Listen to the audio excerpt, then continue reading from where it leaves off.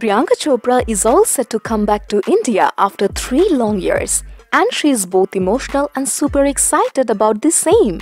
Priyanka Chopra and her singer husband Nick Jonas had shared a couple of candid pictures of her baby girl on her Instagram stories. In the first picture, we could see the little girl Malti engrossed in her colorful picture book, and atop it, the loving mommy penned, Some days are for reading. Malti looked adorable in a strappy dress.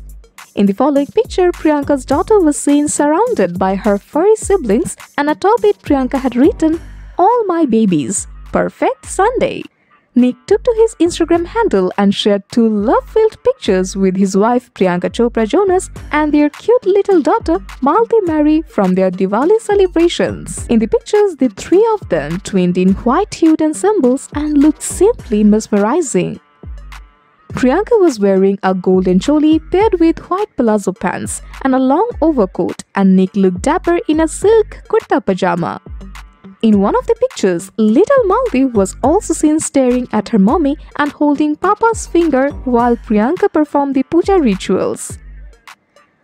Even after acing all the mommy daddy duties, Nick and Priyanka also take some time out from their respective work for themselves. For instance, on October 9, 2022, Priyanka had taken to her Instagram handle and posted glimpses of her trip to Los Angeles with Nick.